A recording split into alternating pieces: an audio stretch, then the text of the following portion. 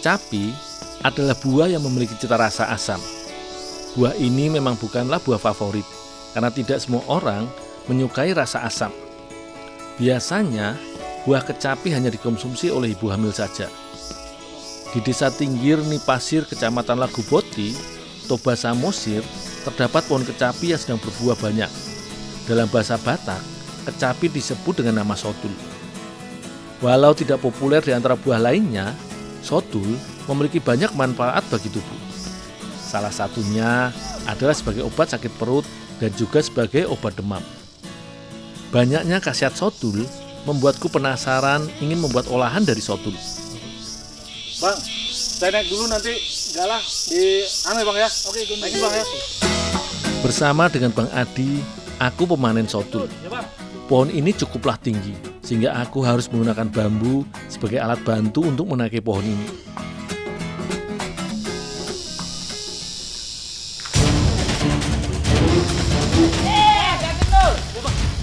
Beberapa buah dapat langsung dipetik, beberapa lainnya harus dikaitkan dulu dengan bambu.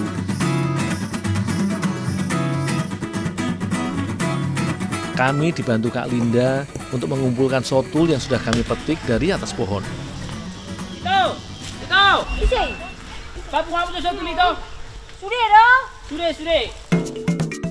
Ternyata cukup banyak juga sotul yang sudah kami ambil. Sotul ini rencananya akan dibuat campuran bubur hari. Kulit luar sotul benar-benar keras hingga sulit untuk dikupas dengan tangan kosong. Aku masih ingat, dulu waktu kecil aku menggunakan pintu untuk mengupas sotul. Bagian yang dimakan dari buah sotul adalah daging buahnya. Rasanya sepat dan juga asam. Sepintas, rasanya mirip dengan rasa mangga muda, namun dengan tekstur buah yang sangat lembut. Buah ini nantinya akan kubawa pada Ibu Efrida untuk dijadikan olahan bubur hari. Aku bikin bubur hari dulu. Ya, bikinin yang enak ya, Dul. Ya kak. Ya, nanti kita ikut makan ya. Bahan pembuatan bubur hari tidaklah terlalu sulit untuk dicari. Bahan hari antara lain timun, pisang, tepung beras, dan juga semangka.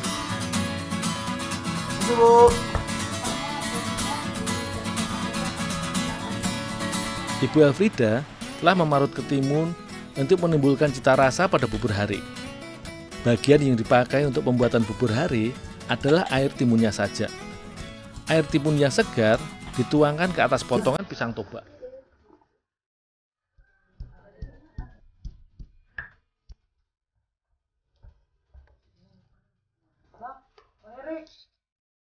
Setelah kunyit halus, kunyit diberi sedikit air.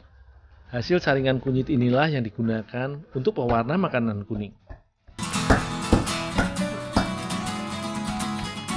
Pisang yang sudah disiram dengan air timun ditumbuk hingga halus. Biasanya, bubur hari disajikan pada acara-acara adat seperti pesta pernikahan, rumah baru, dan upacara kehamilan. Daging buah sotul cukup sulit untuk dipisahkan dari bijinya. Karakter buahnya sangat menempel pada biji, mirip dengan buah rambutan, apalagi dengan buahnya yang cenderung basah, sehingga licin saat dipegang. Karena itu, buah ini kupecah dulu menjadi dua dan bijinya kukeluarkan dari buah. Buah sotul ini ditumbuk terlebih dahulu agar mudah menyatu dengan adonan lainnya. Setelah lembut, buah siap untuk dicampurkan dengan adonan lainnya. Tidak semua hari menggunakan semangka sebagai campuran bahannya. Semangka digunakan untuk memberikan rasa segar dan aroma yang khas.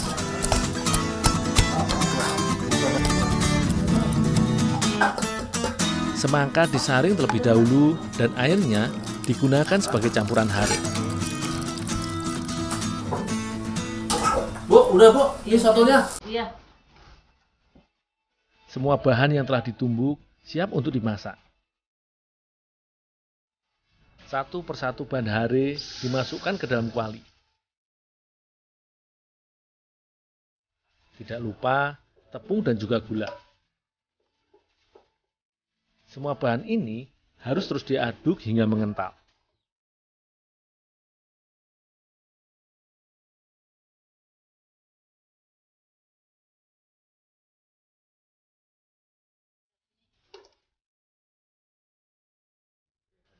Kurang lebih membutuhkan waktu sekitar 30 menit hingga 1 jam agar adonan dapat lengket dengan sempurna.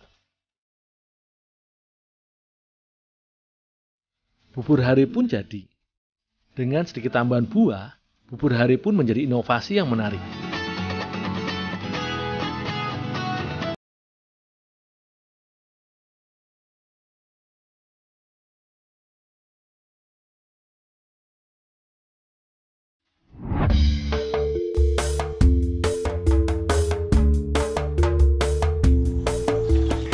Desa Lumban Dolok Hutahean adalah desa yang indah di sekitar Danau Toba. Di tanah Batak ini, kerbau tidak hanya dijadikan untuk membajak sawah saja, tapi juga diperah susunya. Kali ini, aku membantu Bang Tumpal untuk memandikan kerbau-kerbau miliknya. Kerbau ini dimandikan di sungai dengan menggunakan rumput. Setidaknya, sebelum diperah susunya, kerbau-kerbau ini dimandikan dulu agar lebih higienis. Melihat Bang Tumpal memandikan kerbau dengan menaikinya, aku pun penasaran ingin menaiki kerbau. Mau dia. Abang sini. Gak mau dia.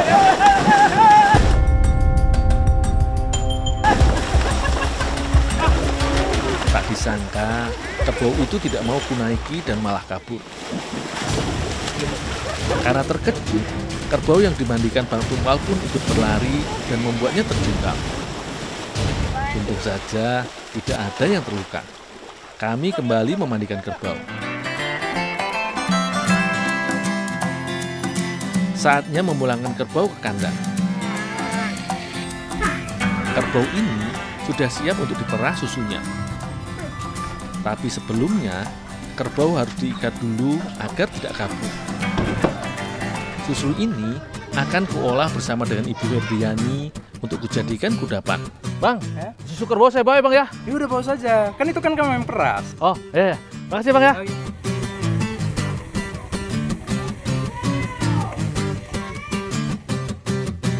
Aku menyerahkan susu kerbau pada Ibu Febriani. Mak, ini susu kerbaunya, Mak. Oh iya, makasih ya, Dul.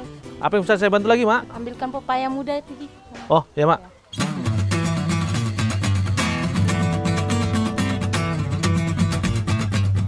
Nah, selanjutnya aku bergegas untuk memetik pepaya. Bagian yang kubutuhkan adalah getah pepayanya. Karena itu, tidak perlu buah pepaya yang matang. Yang penting, buah pepaya yang memiliki getah.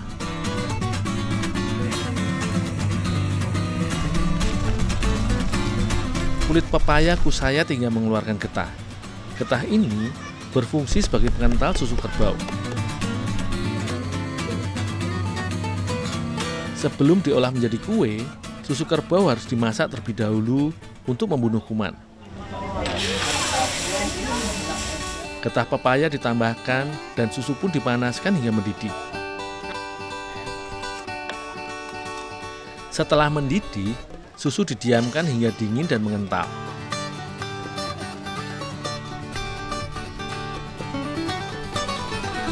Susu yang sudah mengental inilah yang disebut keju Batak.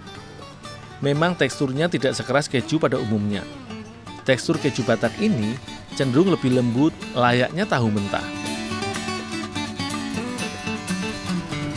Sementara itu, Ibu Febriani membuat adonan kue limi-limi. Tampilan kue limi-limi mirip dengan dadar gulung. Kali ini, keju bataklah yang akan menjadi isian limi-limi. Bahan pembuatannya adalah tepung terigu dan air saja. Namun, agar lebih enak, air akan diganti dengan susu kerbau yang masih segar. Semua bahan diadon hingga tercampur rata dan adonan sedikit mengental. Agar lebih menarik, ditambahkan pewarna merah pada adonan. Keju batak pun sudah dingin dan padat. Saatnya memotong keju agar dapat dijadikan isian limi-limi. Bentuk potongan kusesuaikan dengan bentuk limi-limi, yaitu memanjang. Ternyata, susu kerbau memiliki banyak keunggulan dibandingkan dengan susu sapi, yaitu kolesterol pada susu kerbau lebih sedikit dibandingkan dengan susu sapi. Karena itu, susu kerbau sangat cocok untuk dikonsumsi penderita diabetes. Kandungan B12 pada susu kerbau juga dapat mencegah penyakit jantung dan stroke. Adonan sudah siap untuk dijadikan kulit limi-limi. Adonan dituangkan di atas wajan panas seperti ini. Ketika sudah matang, barulah diangkat. Nah, saatnya mencetak limi-limi. Keju Batak dibalut dengan kulit limi-limi. Dengan begini, keju Batak digunakan sebagai pengganti unti yang biasanya terdapat pada limi-limi.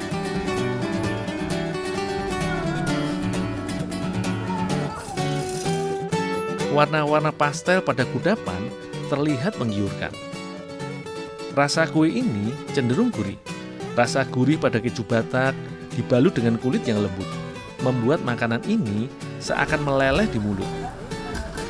Senang sekali rasanya dapat berinovasi dari susu kerbau yang kaya protein. Keju Batak dia teksturnya lembut dia pasti dia. Semoga dengan adanya inovasi ini, limi-limi semakin digemari oleh anak-anak dan juga masyarakat.